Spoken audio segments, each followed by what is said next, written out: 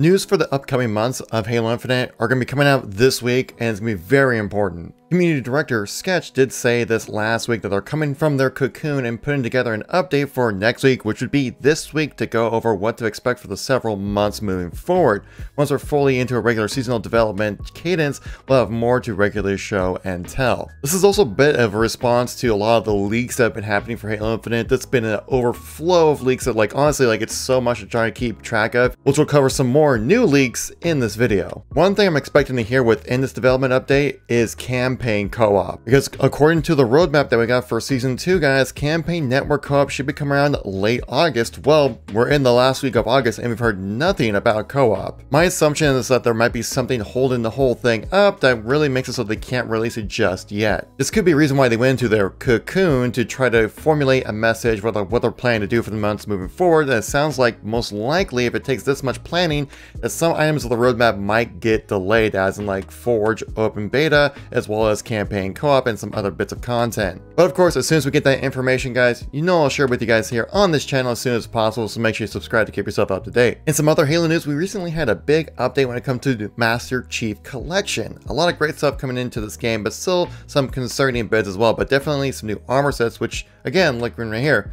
they look pretty awesome. We have the Golden Moa collectibles coming to ODST and Halo Reach. A total of five new armor sets coming to Halo 2 Anniversary right here. So those five new armor sets coming to Halo 2 Anniversary are, well, one is Breach. The second one is Trooper, which kind of just makes me think of like Ant-Man for some reason with this character right here. This one is called Mega Frame. And this is the Panzer Doll, which essentially kind of looks like a cross between like Gundam and Transformers. And then we have the Bioroid, which we tested out previously in Halo. The ability to change the menu background and set to any of your favorites from the past, which is a good aesthetic for sure. It looks like those poses that we flight tested for Season 8 before the update of Season 8 uh, are actually going to be coming into the game now. Improvements to mod tools for CE 2, 3 ODST, as well as coming to Halo Reach. We have new coatings coming for the assault rifle, the battle rifle, the sniper rifle, shotgun, and rocket launcher with the tie-dye, the storm, and bluing and black tiger skins. They don't state exactly when they do expect to see this update actually come into the game, but seeing all the stuff already, like screenshots, stuff like that, it should be coming around rather soon. But they also do continue on about the future of Spartan points, which were previously season, season points, now known as Spartan points. And they do talk about microtransactions when it comes to MCC, which definitely has caused up a bit of controversy. And it said, no decision has been made around the potential of purchasable Spartan points being added to a secondary vector in the future. But with regards to Spartan point earn rate complaints and the current wall that exists upon hitting level 100, we agree with you and we are working on designs on how to address this feedback in the future. But does look like they'll find some way for you to earn Spartan points for ranking up as well. They say right here saying Spartans will earn points from every level from Tour 1 through 11 for 329 total points, and players will retroactively receive points from levels they've already reached. So if you've played a lot of MCC, and once they implement this update, then you'll be getting a bunch of free Spartan points essentially that you can spend on your customization, which is going to be awesome to see. Oh, and with that update as well, looks like they're also trying to bring back double XP weekends. And we also had some rather interesting leaks come over the weekend for Halo Infinite. Definitely want to cover that with you guys on this channel, so let's get right into it. The leaked voice lines for Mati and AI can most likely come in with Season 3, so let's check that out. Weapons from the friggin' sky! Haven't given up yet? Fine. Oh, I've been waiting for this. An ally has slain the carrier. Defend our bomb sites, Spartan. Thrusters acquired. I knew it. I knew you were the one, Spartan! Us against all of them? Sounds like a fair fight to me. Idiot!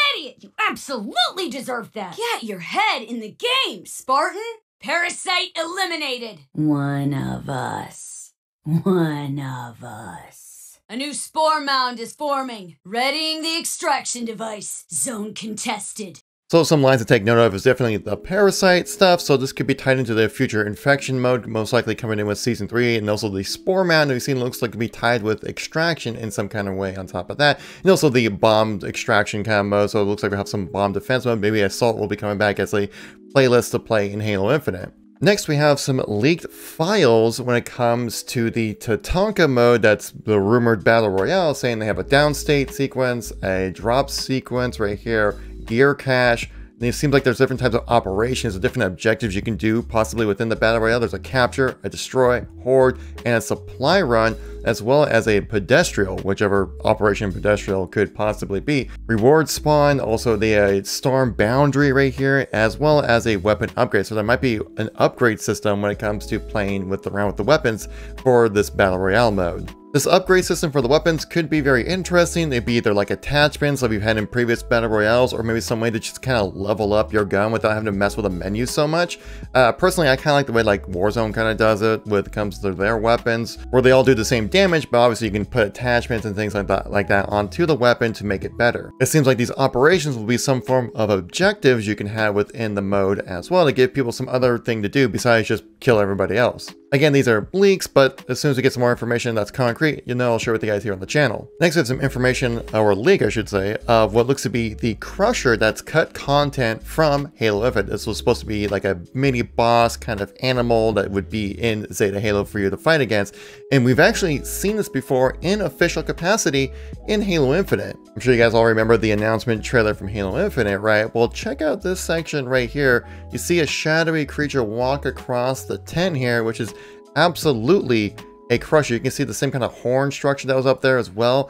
Big lumbering kind of character. We originally thought this was a rhino, but I think this actually might be the Crusher right there, which is pretty exciting stuff. Now, this isn't really anything new to have cut characters for enemies from a game. If you guys remember the Flood Juggernaut that was actually cut content from Halo 2, this actually can be found in the game and eventually did make it into Fireteam Raven game mode right there, but you know, this isn't the first time we've seen this, but I thought it was just kind of some nice similarities where it's like this big, huge, menacing creature that we would fight against in the campaign that just didn't quite make it into the end. Next, we have some leaked information which looks to be kind of playing into what we heard about earlier, that this could have been a hero shooter for Halo Infinite. Let me show you why. This leaked video right here, which I don't know if it was necessarily leaked, but more like kind of given out, Jeff Crissey, who used to work at 343 for multiple years, like almost a decade, showcased like this kind of like idea, kind of trailer kind of thing of what these different kind of classes could look like in Halo Infinite. You got like the Recon class, this next one here I believe is called the Heavy class and stuff like that.